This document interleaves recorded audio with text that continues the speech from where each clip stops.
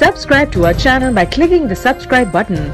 Click the bell button and enjoy the latest uploads from our channel. قریب ختم بخاری کی ہے امام بخاری رحمہ اللہ حضرت رسول اللہ صلی اللہ علیہ وسلم کی حدیث کے حافظ ہیں تیرہ شوال سن ایک سو چورانوے ہجری امام بخاری رحمہ اللہ پیدا ہو کر دنیا میں تشریف لاتے ہیں۔ یہ وہ زمانہ ہے جس زمانے کو اللہ کے رسول نے خیر القرون کا اختتام فرمایا ہے کہ جب بہترین زمانوں کا اینڈ ہو جائے گا، وہ یہی زمانہ ہوگا۔ امام بخاری رحمہ اللہ خیر القرون میں پیدا ہوتے ہیں۔ جب خیر القرون جس زمانے کو اللہ کے رسول کی دعا ہے وہ اس دھرتی پر ختم ہو رہا تھا۔ امام بخاری صحیح بخاری کا ابتدا فرما رہے تھے۔ حضرت امام بخاری رحمہ اللہ نے یہ جو کتاب مرتب فرمائی ہے، جو آپ کے اور میرے سامنے ابھی اس کی آخری حدیث پاک کو تلاوت کی گئی۔ میرے دوستو، یہ امام بخاری رحمہ اللہ نے بڑی محنت اور تگدو سے اس کتاب کو مرتب فرمایا ہے۔ امام بخاری رحمہ اللہ کے لیے شیخ الحدیث مولانا ذکریہ کاندلوی رحمہ اللہ لام الدراری کے مقدمہ میں تعریف فرماتے ہیں۔ امام بخاری کی عمر ابھی پانچ سال تھی۔ ان کے والد وفات پا گئے۔ جب ان کے والد فوت ہو گئے، امام بخاری کچھ ہی دنوں کے بعد اپنی بینائی اور اپنی بسارت سے محروم ہوئے۔ ان کی آنکھیں چلی گئیں۔ جب ان کی بسارت گئی ماں نے سر سجدے میں رکھا، میرے مولا، میں آپ سے مخاطب ہوں، میرے سر سے خامن کا سایہ اٹھ گیا، میرا ایک ہی بچہ، اس کی بھی آنکھیں چلی گئی۔ اے اللہ، رحم فرما، ہم نے تو طے کیا تھا، میرے خامن اور میں نے تو یہ بات متعین کی تھی، ہم اس کو دین کی خدمت میں وقف کریں گے۔ اگر اس کی آنکھیں چلی گئی اللہ یہ دین کی خدمت کرے گا تو اس میں رکاوٹ آ جائے گی۔ میرے مولا ہمیں آنکھوں کی نعمت عطا فرما دے۔ میرے بچے کو دوبارہ آنکھیں دے دے۔ رب نے کرم کیا۔ حضرت امام بخاری کی اممہ آرات کو سوئی ہیں۔ حضرت اسماعیل علیہ السلام کے والد، حضرت ابراہیم علیہ السلام کی زیارت ہوئی ہے۔ حضرت ابراہیم فرماتے ہیں، اے محمد کی اممہ امام بخاری کا نام محمد بن اسماعیل ہے۔ کہا محمد بن اسماعیل کی اممہ اللہ نے فیصلہ کر لیا ہے۔ تو صبح اٹھے گی، تیرا بیٹا آنکھوں والا ہوگا، رونا بند کر دے، یہ تڑپنا بند کر دے۔ تسلی رکھ، تیرے بیٹے کو بسارت لوٹائی جائے گی۔ وہ صبح ہوئی، امام بخاری کی اممہ اٹھی، بچے کو اٹھایا جو رات اندھا سویا تھا، صبح آنکھوں والا ہو چکا امام بخاری کو رب نے پیدا ہی حدیث کی حفظ کے لیے کیا تھا، کہتے ان البخاریہ خلق الا لحدیث ما خلق الا للحدیث. کا امام بخاری کو پیدا اللہ نے حدیث کی حفظ کے لیے کیا، احادیث کو یاد کیا، احادیث کو اپنے ذہن میں بٹھایا۔ ازبر کیا اور امت تک پہنچانے کی تقدو کی ہے۔ امام بخاری نے عام کام نہیں کیا، بلکہ اپنی والدہ کے ساتھ خود فرماتے ہیں، جب میری عمر دس سال سے کچھ عمر ہوئی، اپنے والدہ کے ساتھ میں حج کو آیا۔ ایک روایت میں ہے کہ امام بخاری کے بڑے بھائی تھے، وہ گھر سے باہر تھے، وہ بھی آئے اور وہ اپنی اماں کو لائے، تو چھوٹے بھائی کو بھی لائے۔ جب امام بخاری مکہ المکرمہ آئے، انہیں پتا چلا مکہ المکرمہ میں امام اعظم ابو حنیفہ رحمہ اللہ کا ایک شاگرد، جسے محدث وقت ابو عبد الرحمن المقری کہتے ہیں، وہ حدیث پاک کا درس یہاں دیتا ہے۔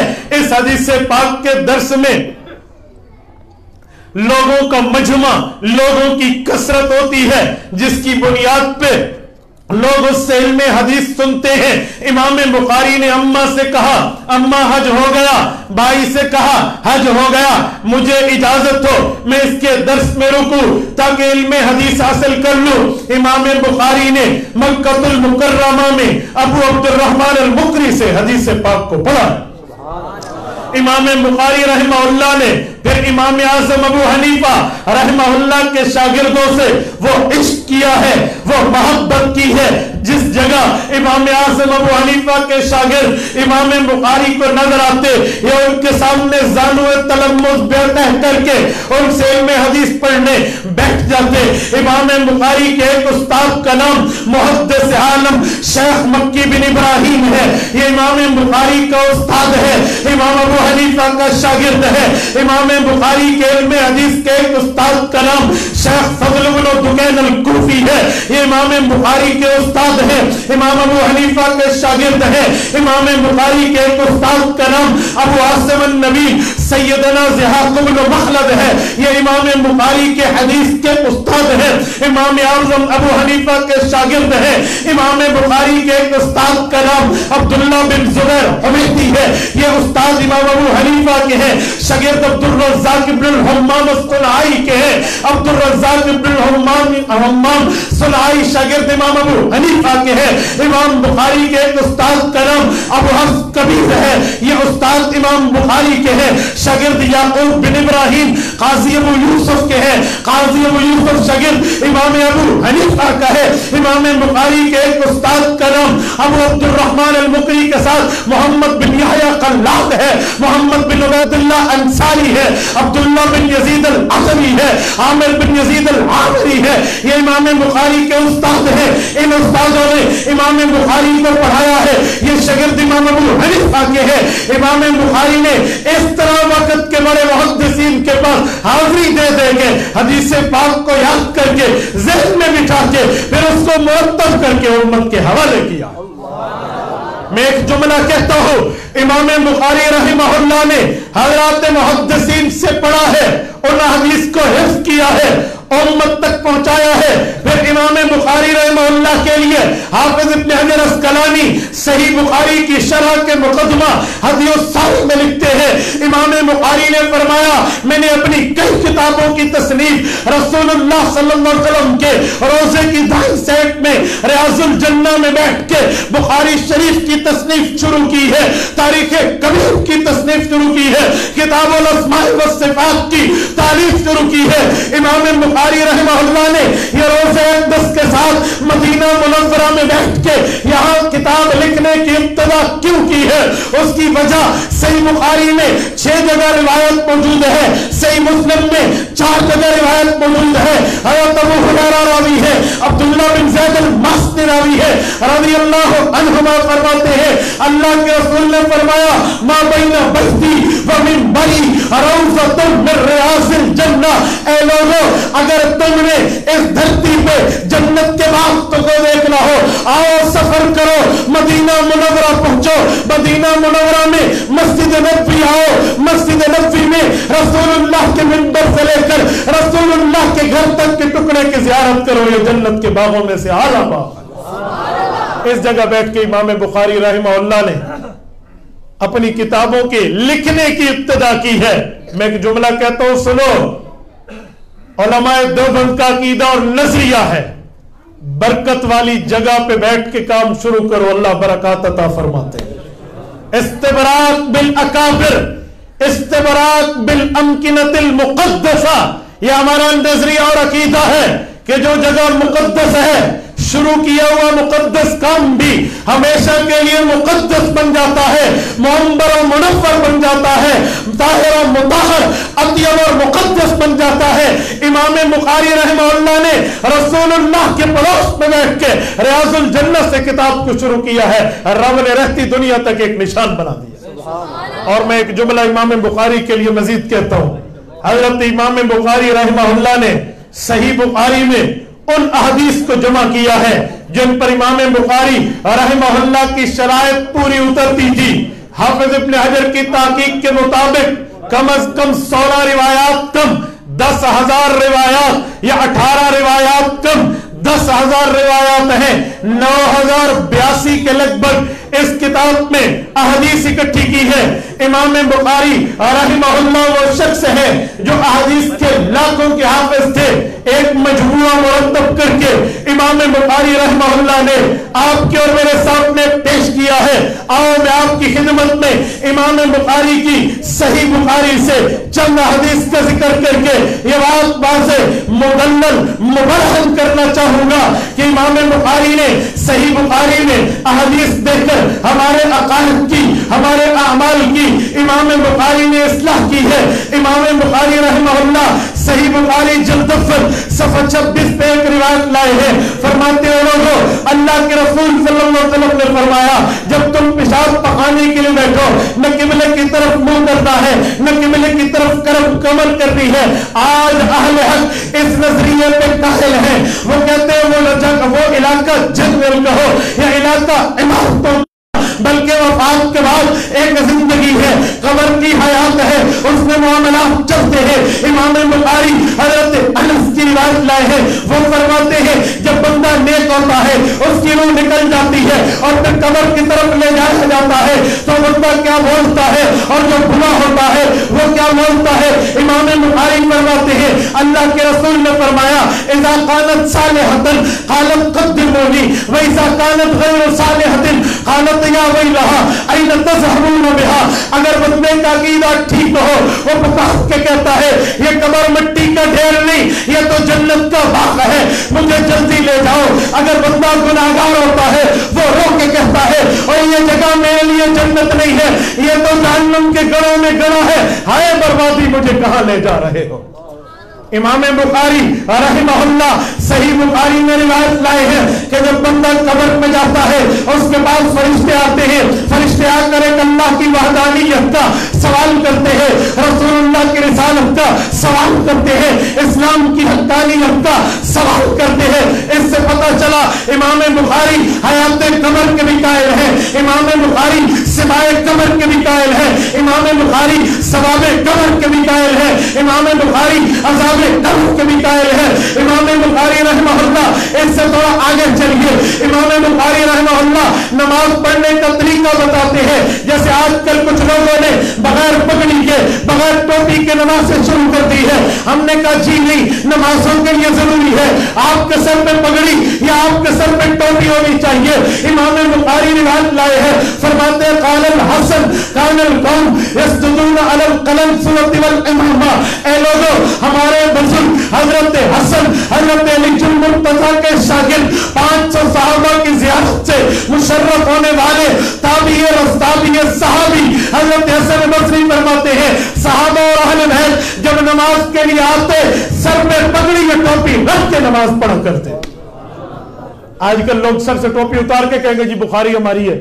ہم نے بخاری رکھی ہے۔ ہم بخاری پہ عمل۔ سنے میں امام بخاری رحمہ اللہ کی ایک بات آپ کی خدمت میں مزید لانے لگا ہوں۔ امام بخاری رحمہ اللہ صحیح بخاری کے اندر انہی عنوانات پہ بات کرتے ہوئے ایک بات مزید فرماتے ہیں۔ امام بخاری رحمہ اللہ حدیث پاک لائے ہیں کہ جب رسول اللہ صلی اللہ علیہ وآلہ وسلم کا آخری وقت تھا۔ اللہ کے رسول صلی اللہ علیہ وسلم وفات پانے لگے۔ حضرت عائشہ کو دیکھ کے فرمایا، یا عائشہ، لا ازال اجب علم الطعام الذي اکلت بخیبرا فازا اوان وجبت انکتا ابھری اے عائشہ، میں تجھے آج ایک راز دے رہا ہوں۔ میری امت تک پہنچا دینا۔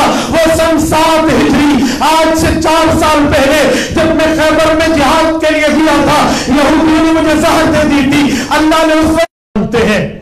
شہید کی جو موت ہے، وہ قوم کی؟ بولیے بولیے، شہید کی جو موت ہے، وہ قوم کی؟ شہید کا جو خون ہے، وہ قوم کی زکات ہے۔ اللہ سے پیغمبر نے دعا مانگی تھی۔ لَوَدِتُ أَنْ أُقْتَلَ فِي سَبِيلِ اللَّهِ۔ ثُمَّ أُحْرَى ثُمَّ أُقْتَلْ میرے اللہ، مجھے میدان جنگ میں شہادت دے۔ اللہ نے یوں نہیں کیا، شہادت دی، بستر پہ دی ہے، میدان جنگ میں نہیں دی۔ وجہ کیا ہے؟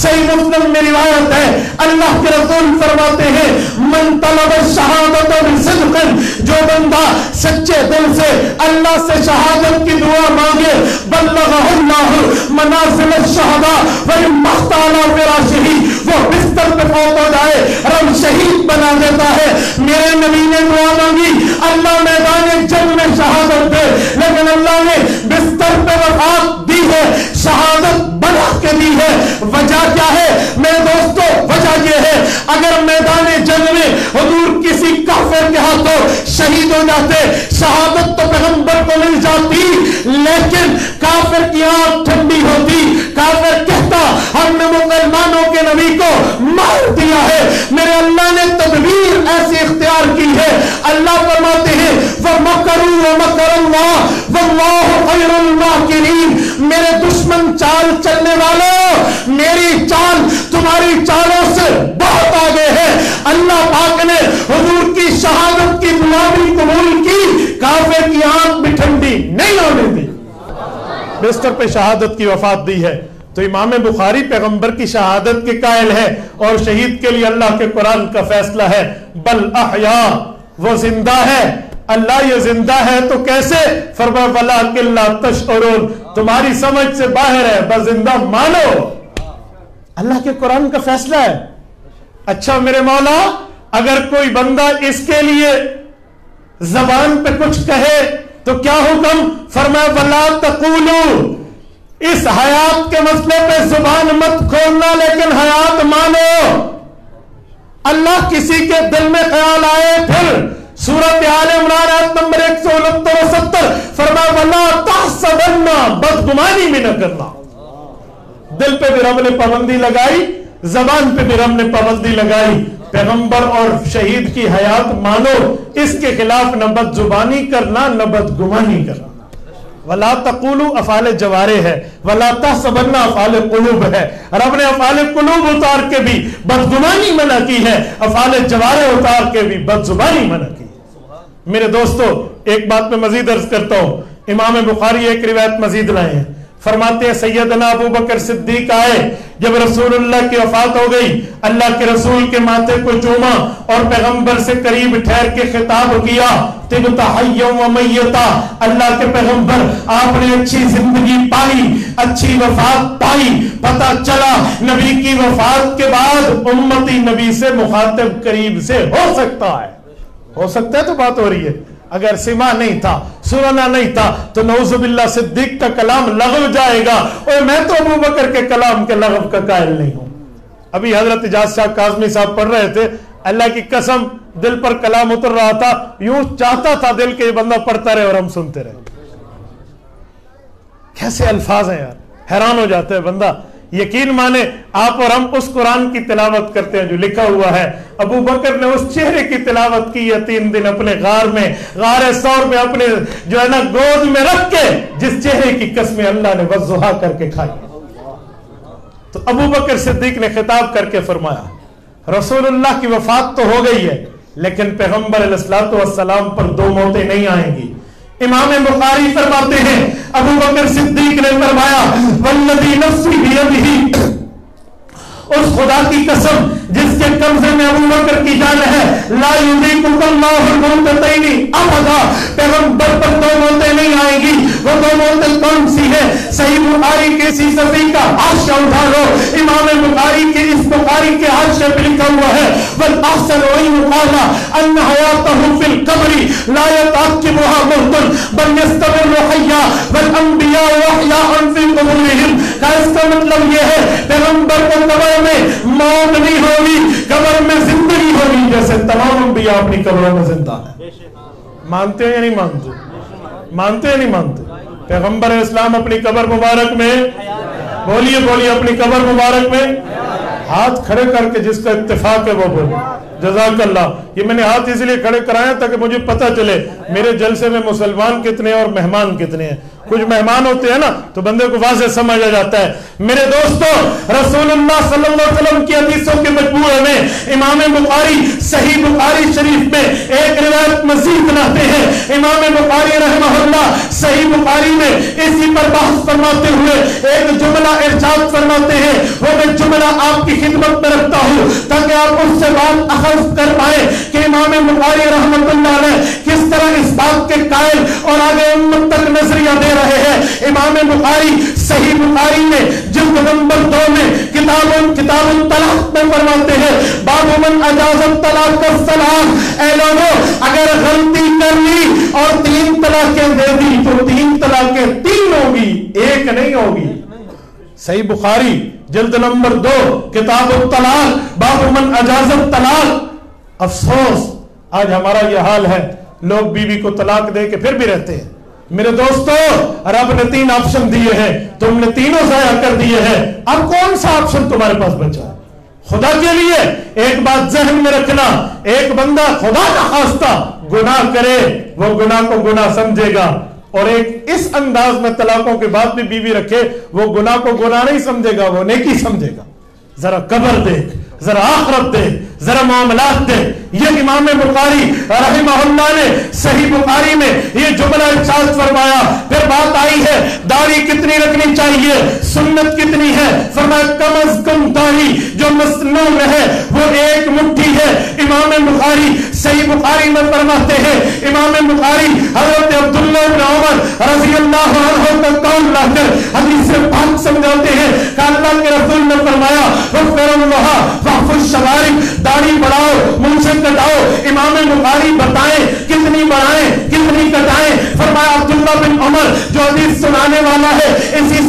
کا فتوہ بھی سن لو کان ابن عمر اذا حج او اعتمر قبض على لحيته فما فصل احظه حضرت عبداللہ بن عمر نے پیغمبر علیہ السلام کے حدیث کی تشریح کرتے ہوئے فرمایا، حضور پاک کی داڑھی ایک مٹھی تھی اور میری بھی ایک مٹھی ہے، آگے ہوتی ہے تو میں برابر کر لیتا ہوں۔ امام بخاری رحمہ اللہ صحیح بخاری میں اس کی ترتیب لائے ہیں۔ میرے دوستو، حضرت امام بخاری رحمت اللہ علیہ نے صحیح بخاری میں اس طرح حدیث کے ابواب طے کر کے امت کو ایک بات سمجھائی ہے کہ اے لوگوں دین کے لیے معاملات دیکھنے ہیں تو بنیاد احادیث کو دیکھنا اور میں ایک جملہ مزید کہتا ہوں۔ دین کے سمجھانے پھیلانے کے لیے اگر کوئی آج انگلش پڑھے، اگر کوئی آج سائنس پڑھے، کوئی بیولوجی پڑھے اسی طرح کوئی بندہ جو ہے نا کیا کہتے ہیں وہ میتھ کے جو ہے نا اصول پڑھے یا اس نے فزکس پڑھنی ہے، کیمسٹری پڑھنی ہے، میڈیکل پڑھنا ہے، منع نہیں ہے۔ امام بخاری اس کا اشارہ بھی لائے ہیں۔ ابھی آخری حدیث میں تلاوت ہو رہی تھی۔ العدل بالرومیہ۔ امام بخاری عربی زبان کو رومی زبان میں تشریح کر رہے ہیں۔ رومی کنے کہتے ہیں؟ ذرا علماء سے پوچھیں۔ بنی اسفر بنی اسفر کسے کہتے ہیں؟ جسے آج کی دنیا میں آپ انجلیزی لغت، انگلش لینگویج کہتے ہیں۔ العدل بالرومیہ، روم کا اطلاق کہاں ہوتا ہے؟ غلیبت الروم کی شرح بندہ دیکھ لے فینل ہو جائے گا۔ امام بخاری نے عربی سمجھانے کے لیے رومی زبان سے سمجھانے کی مثال دے کر بتایا، گویا دوسرے لفظوں میں کہ اگر عربی زبان کے لیے کوئی اور زبان ہے، اس کی دعوت کے لیے سیکھنی چاہیے تو کھلے دل سے سیکھو۔ کھلے دل سے سیکھو۔ اب یہ نہ سمجھنا، اجی میں یوں کر لوں، میں یوں کر لوں۔ کھلے دل سے سیکھنی چاہیے، آگے چل کے بات کرنی چاہیے۔ اور امام بخاری رحمہ اللہ نے ایک بات مزید فرمائی۔ وہ کیا ہے؟ امام بخاری رحمہ اللہ پہلا راوی صحیح بخاری میں لائے ہیں۔ سیدنا عمر رضی اللہ عنہ حدیث کا آخری راوی ہے اور روایت کا جو روایت حدیث کا پہلا راوی یعنی ان سے نکلی ہے۔ اور آخری حضرت ابو حریرہ لائے ہیں۔ کیا مانا؟ پہلا راوی یعنی پہلی حدیث کا راوی حضرت عمر۔ یہ مکی ہے۔ حضرت ابو حریرہ یہ مدنی ہے۔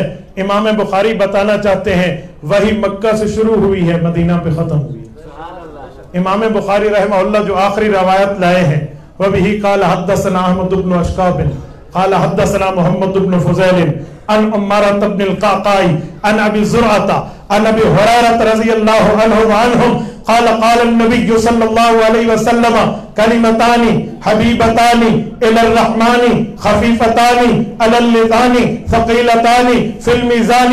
سبحان الله وبحمده. سبحان الله العظیم یہ اس روایت کو دیکھو، اس میں امام بخاری کے اساتذہ پانچ ہیں. صحابی رسول حضرت ابو ہریرہ کو چھوڑ کے اساتذہ چار ہیں. وہ بھی قال، حدثنا احمد بن اشقار قال، حدثنا محمد بن فضیل ان امارت بن القاقائی ان ابی زرعہ یہ چاروں محدث کہاں کے رہنے والے ہیں؟ اٹھائے صحیح بخاری کی شرح القواقب الدراری جسے حاشیہ کرمانی کہتے ہیں۔ یہ جلد نمبر پچیس میں وہ فرماتے ہیں فیہ اللطائف اس میں بڑی عجیب باتیں ہیں۔ اربعتن کلہم کوفیون یہ چاروں بزرگ امام اعظم ابو حنیفہ کے شہر کے محدث ہیں۔ ایک بندہ مجھے کہنے لگا امام ابو حنیفہ میں نے کہا، میں لعنت کرتا ہوں قاتلین حسین پہ۔ میں کل بھی حسینی تھا، میں آج بھی حسینی ہوں۔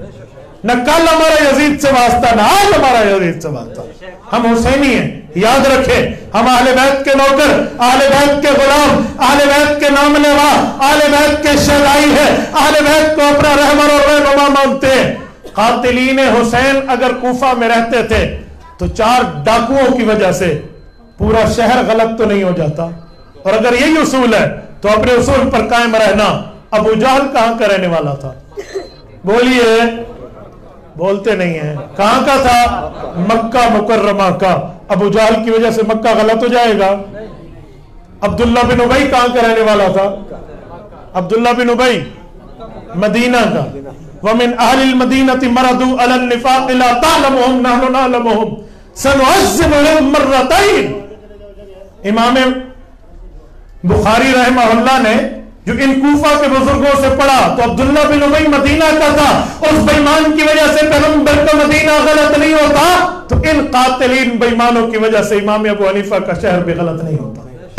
امام بخاری جاتے جاتے ہمیں کوفہ کے محدثین کے پاس رکھ کے گئے ہیں، جہاں سے فقہ حنفی پوری دنیا میں جا کر دین کی دعوت کا ایک ذریعہ بنی ہے۔ میں ان بچیوں کو مبارکباد پیش کرتا ہوں۔ تہ دل سے جنہوں نے صحیح بخاری کا ختم کیا ہے۔ اے اساتذہ کرام، خراج تحسین کے مستحق ہیں۔ اور جو حضرات آپ تشریف لائے ہیں، اللہ آپ کی عمر میں، آپ کے علم میں برکات عطا فرمائے۔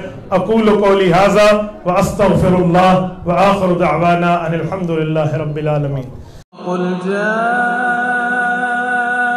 الحق وزهق الباطل، إن الباطل